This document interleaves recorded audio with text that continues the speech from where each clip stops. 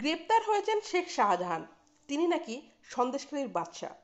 যার একটা হুঙ্কারে সন্দেশকারীতে বাঘে গুরুত্ব এক ঘাটে জল খায়। অভিযোগ, এই শাহজাহান ও তার সাঙ্গপাঙ্গদের দাপটের কারণে বছরের পর বছর এখানে মানুষ ভোট দিতে পারতেন না। তাদের অভিযোগ, কেউ তিন বছর, কেউ দশ বছর, আবার কেউ এগারো বছর নিজেদের ভোটাধিকার প্রয়োগ করতে পারেননি। ছাপ্পান্ন দিনের মাথায় শেখ শাহজাহানের গ্রেপ্তারের পর কিছুটা আশায় বুক বাঁধছেন সন্দেশখালীর মানুষ। কি হতো ভোটের দিনগুলোতে এই সন্দেশখালিতে? মাঝের পাড়ার এক মহিলার কথায় ভোটের দিন এসে ঘণ্টার পর ঘণ্টা লাইনে দাঁড়িয়ে থাকতাম।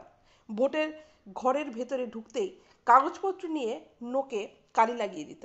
এরপরই ভোটের কাগজটা হাত থেকে নিয়ে নিত ওরা। ইভিএমে বোতাম আর টিপতে পারতাম না। আরও একটা ভোট আসছে। লোকসভা ভোটে ভোটাধিকার প্রয়োগ করার ব্যাপারে এবার কিছুটা আশাবাদী তারা।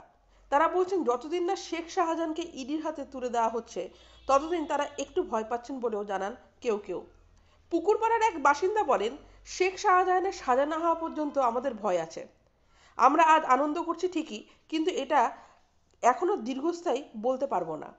ভোট দিতে পারতাম না। ওরাই বলে যেত, ভোট দিয়ে যেতে হবে বা না দিয়ে দিতে হবে। গেলে ওদের ভোট না দিলে অত্যাচার করতো। আমরা যে দেশের নাগরিক, আমরা যে নিজেদের পছন্দের কাউকে ভোট দেব, সেই অধিকারটুকুও ছিল না। দুটো পঞ্চায়েত নির্বাচনে ভোট দিতে পারিনি।